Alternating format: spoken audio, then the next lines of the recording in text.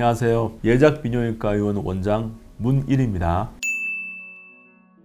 여성은 아름다움에 대해서 아주 복잡하고 섬세하게 구석구석까지 완벽을 추구하죠. 피부에 관해서는 잡티 하나 없이 주름도 하나 없이 완벽한 형태와 색으로 탱탱하게 아름다워지길 원하는데요. 그래서 영양 크림과 에센스를 바르고 붙이고 지우고 거기에 비해서 남자는 세수하고 로션 바르면 끝인 분들이 아직까지 많으시죠. 남자는 훨씬 단순하고 기능적이죠. 남자들은 자신의 소중이에 대한 로망 역시 단순합니다. 굵고 길게 제가 만나고 상담해온 고개 숙인 남자분들 거의 모두가 이 두 가지를 얘기하셨는데요. 즉, 아무리 단순하고 간단하게 결과만을 빠르게 만들어내는 종족이 저희 남자라고 하더라도 굵게, 길게 이 두 가지는 절대 놓치지 않고 챙긴다는 이야기죠. 그래서 오늘은 이 둘 중에서 길게에 해당되는 이야기를 의학적인 관점에서 해보려고 합니다.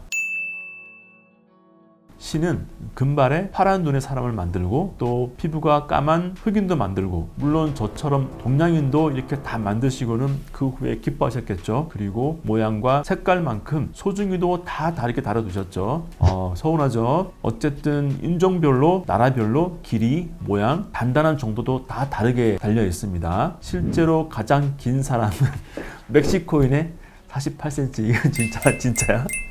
이아이 가장 긴 국가는 에콰도르로 평균 17.61cm라고 합니다. 엄청나죠. 거의 모든 갈등이 가진 것의 차이에서 나오는 것처럼 이런 길고 짧은 차이가 부러움과 질투를 만들어냈고 이건 즉각적으로 수요와 공급을 만들어냈습니다. 모든 남자가 똑같은 크기와 길이를 가지고 같은 시간 동안 사용할 능력을 가졌다면 아마 비뇨기과는 훨씬 심심하고 진지한 과가 됐겠지만 문지방 넘을 힘만 있어도 여자를 쳐다보는 강력한 욕망으로 불타오르는 저희 남자들 때문에 비뇨기과는 의학적인 중요성 쪽 보다는 아주 현실적인 필요성을 채워준다는 꺼지지 않는 욕망의 불꽃을 가질 수 있게 되었죠. 절대 비뇨기과는 안 망한다는 뜻이죠.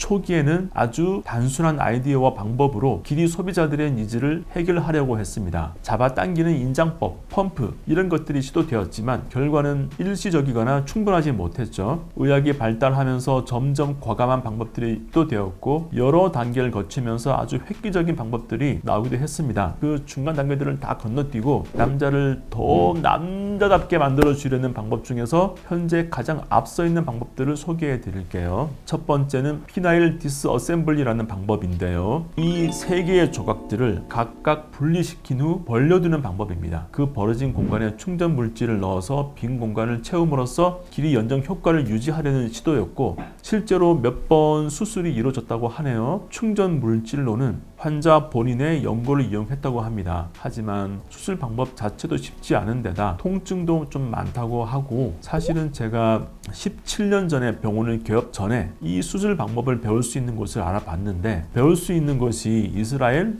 브라질, 아주 어렵더라고요. 이 두 나라는 아주 실험적인 수술도 많이 이루어지는 곳이긴 한데 어쨌든 현재도 이 수술법을 시행하고 있는 병원은 최소한 국내에서는 들어보지 못했습니다. 그리고 또 하나는 백막을 잘라서 벌려놓고 다른 재료로 벌어진 막을 덮어서 바느질을 하고 연결하는 방식으로 길이를 늘려줍니다. 이건 역시 이론상으로는 획기적인 결과를 볼 수 있는 방법이긴 하지만 원래 이 수술법은 길이 연장만을 위한 것보다는 발기부전 환자를 대상으로 적용하는 게 안전한 수술 방법입니다. 발기를 유지시켜주는 메커니즘이 이 수술을 하는 도중에 손상받을 가능성도 있기 때문에 환자분이나 또 하시는 분이나 그런 리스크를 감소해야 하는 수술법이라는 것을 아시면 좋겠고요. 말씀드린 이 두 가지는 저희끼리 말하는 진선 길이 연장으로서 실제 본인의 타고난 길이보다 더 길게 만들어주는 방법입니다. 하지만 말씀드린 대로 쉽지가 않죠. 그래서 대부분 비뇨기과 의사들은 타고난 길이 그 자체를 늘리는 것보다는 그 길이는 그대로 두지만 그래도 길어 보이게 하는 방법으로 수술을 하고 있는데 길이를 발기 시의 길이만큼 최대한 당겨두고 그 상태를 유지하게 하는 개념인데